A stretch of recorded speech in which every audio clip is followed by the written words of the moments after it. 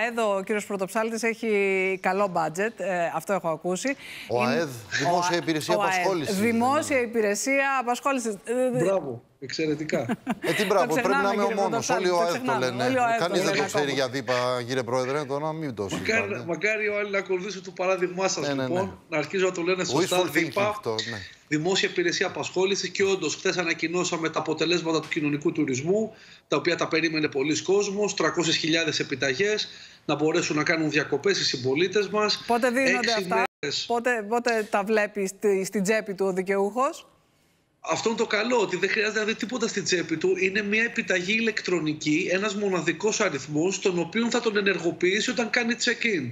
Δηλαδή, όταν πάει στο κατάλημα και κάνει check-in, εκεί δίνει τον αριθμό και γίνεται η ενεργοποίηση της επιταγής, η αξία της οποίας κυμαίνεται αναλόγως πού θα πάει και πόσο θα κάτσει. Για παράδειγμα, μια τετραμελής οικογένεια που θα πάρει δύο δίκλινα σε ένα ξενοδοχείο τριών αστέρων με πρωινό τον Αύγουστο για έξι βράδια θα πληρώσει 96 ευρώ από την τσέπη της και εμείς θα πληρώσουμε 806. Οπότε 89% θα επιβαρυνθεί η δημόσια υπηρεσία απασχόλησης, 11% η οικογένεια. Πάντα Αρκεί τέτοια κύριε Πρωτοψάλτη, πάντα ε. τέτοια. Αρκεί να προλάβει, ναι, είναι σημαντική ενίσχυση. Ναι. Και είναι αυτό το καλοκαίρι.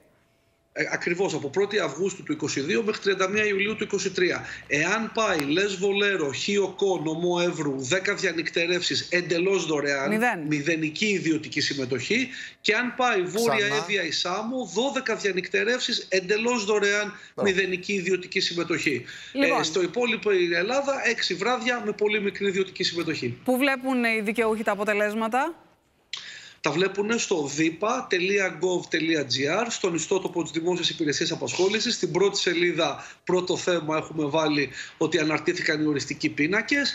Ε, είναι κάτι το οποίο το περίμενε πολλοί κόσμος, ήταν μεγάλη Και υπάρχει και κάτι άλλο που περιμένει πάρα πολλοί κόσμος. Τις 80.000 επιταγές, να το πω έτσι, για την κατάρτιση. Διότι πέρα από την κατάρτιση είναι και ένα χιλιάρικο η επιδότηση.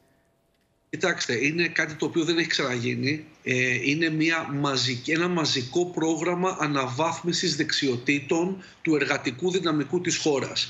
Έχουμε προϋπολογίσει πόρους ύψους ενός δις από το Ταμείο Ανάκαμψης.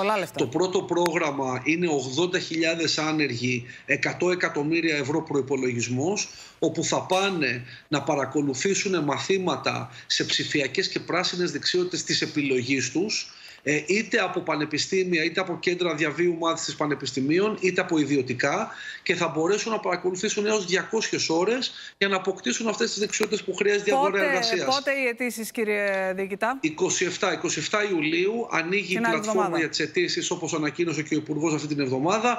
Ε, αναμένουμε πάρα πολύ μεγάλο ενδιαφέρον. Όπως είπα, κάτι που δεν έχει ξαναγίνει και μετά θα ακολουθήσει πρόγραμμα εργαζομένων. Οπότε μετά του 80.000 ανέργων θα υπάρξει πρόγραμμα για 150.000 εργαζόμενους.